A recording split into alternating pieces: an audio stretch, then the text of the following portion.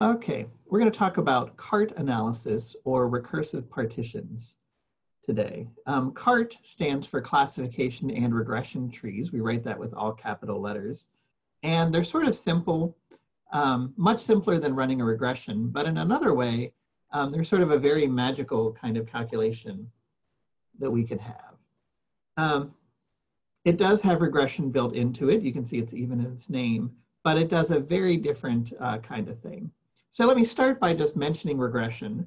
We've talked about multiple regression. We've talked a little bit about variable selection. Um, and we even talked about penalized regression a little bit at the end of that one lab. But we could certainly keep adding more and more complicated ways of doing regression in order to get fancier and fancier models. In general, um, regression models use that algorithm that we talked about, least squares, to choose coefficients of some kind of equation that we can look at. Tree-based predictions instead um, try to make a simple prediction and then slice our data to get better and better predictions. So for instance, if we're trying to predict some y from our x's, um, we're gonna make these rectangles. So if you imagine we looked at our Kim data that we've looked at several times, and we looked at the genders. Um, about 63% uh, of our respondents were female, which matches Truman's prediction. And so what we would say is if we're given a random person that we don't know, we should predict that they're all female. That would be right 63% of the time, which is better than a coin flip, better than just guessing without knowing anything. But it's still not very good. But then imagine we could then split on one variable or another and get two different means or two different predictions that we could work on from that so that we would get different values based on that. And again, we could do it in a couple different ways. And what CART does is it tries all possible splits in order to get the best uh, improvement. So let me do a digression here into this uh, Kim data that we've used now a lot. And um, let's say that we wanted to predict gender. Now, um, in general, this is a weird idea, and typically, um, you know, most people who do science don't try to predict gender. Um, and in fact, if you were in a sociology class, they would tell you lots of reasons why this is a bad idea. However, this is actually a thing that online companies want to do all the time. And they're not trying to predict gender in some sort of political or social way. They just want to guess what they can sell to you. They don't actually care if you identify as male or female. What they really want to know is, do you want to buy mascara? Do you want to watch movies with explosions or do you want to watch movies with kissing? Netflix totally does this.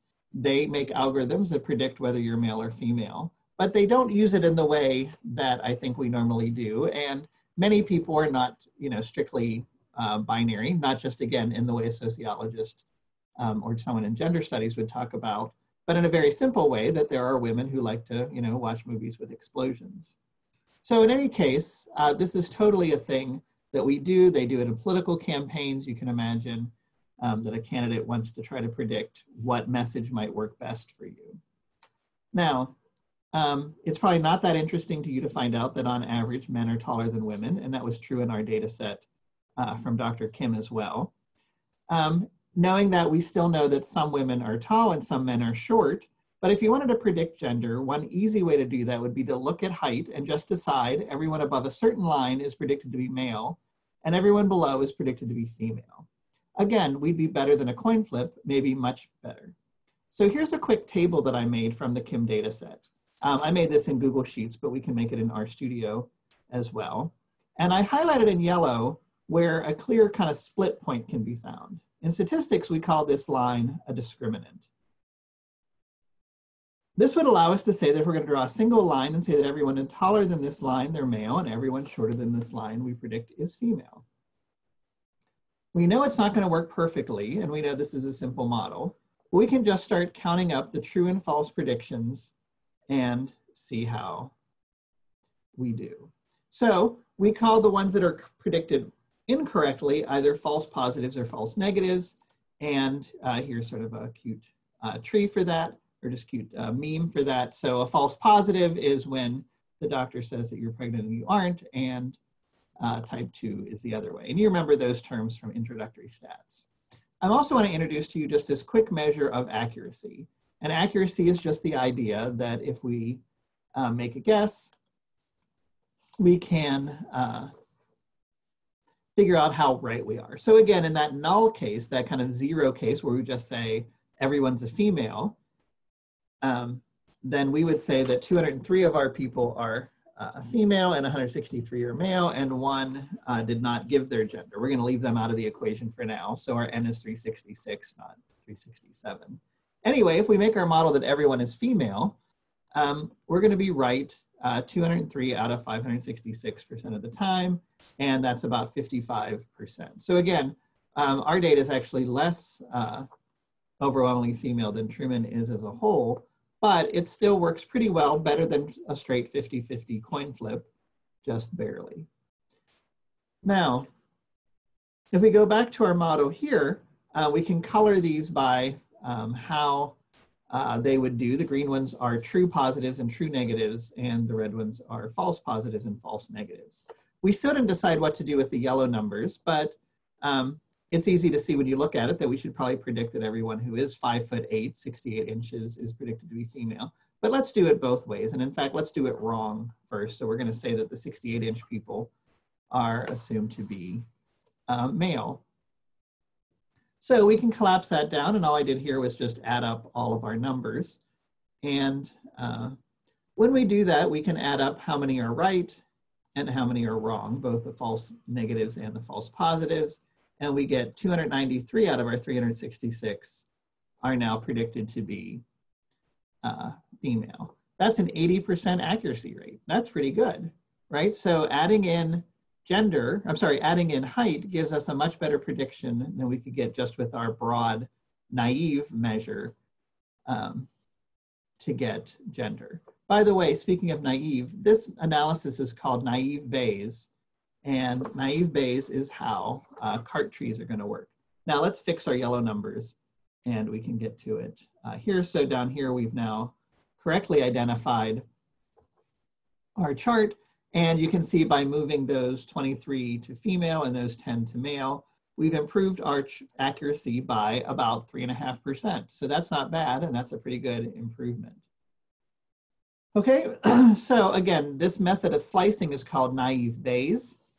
And um, as a person who lives on Earth, you're probably not very impressed that our data can tell you that on average, males are taller than females. What's different about a CART analysis is that it does this for every single variable in our data set, and it looks at every single uh, breakpoint to try to find where the best split is gonna be. It can then do this recursively multiple times, repetitively, and that's what makes these splits into a tree. Now, before we go on, let me mention the person who didn't give their gender, right? And again, not identifying your gender is fine, but we might wanna guess what they're going to do anyway, and again, what kind of things we can sell to them. So this person did report that they're 62 inches uh, tall, five foot two, which is kind of short. The model will predict the person is a female. Of course, we don't know the truth and we'll never know what it really is, but what it does say is that our model's probably gonna recommend sending them as for mascara and not suggesting space action robot movies.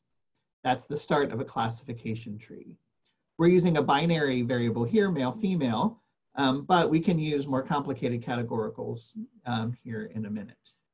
Before we go on, let me talk about a classification matrix um, because that's one of the things that we're gonna get. So if I flip this data on its side, we get a classification matrix that looks like this.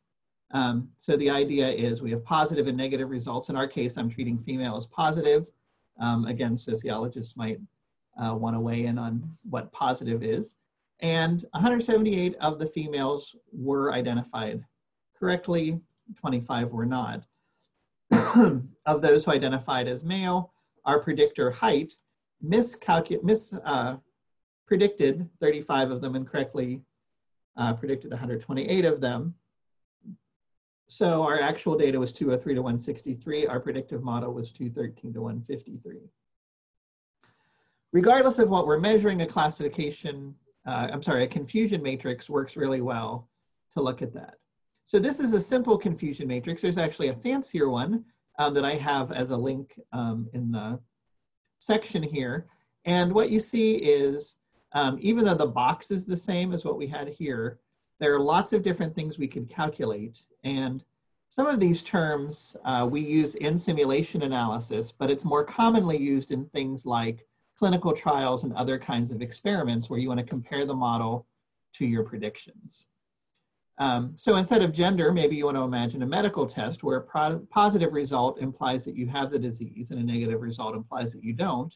And we'd like to see that people who are identified as having the condition actually have it and those who don't do not. It's the same chart, but now it has a ton of these other predictive rates. Um, a couple I want to mention, one of them is specificity. Um, specific specificity only looks at negative results. So it looks at true negatives out of the ones that are predicted to be negative. And uh, that idea, again, a true negative rate or a specificity is often useful. Other times, a true positive rate or sensitivity is what we're really interested in. So um, these sorts of values, positive predictive value is another one we use, where we actually look at how many of those who tested positive actually had the condition. Um, uh, there are stories about um, the 1980s where there was a very cheap AIDS uh, test, HIV, uh, that came out, but it had a much too high false positive rate. But because it was so much cheaper, what would happen was they would give you the cheap test, it cost about a dollar um, to give. And if you tested positive on that, they wouldn't tell you you tested positive because of course that would freak you out. Instead, they what they'd say is, this test indicates running the second test. The second test was much more expensive, about $100, but it was super, super accurate. And so the first test, which was good in one direction but not the other, was actually really useful because it allowed you to test many more people for a much lower cost. And even today, we still use that test in a lot of our analyses. Okay, so um, I'm going to stop here and I'm going to make a second video where we go into the next um, details.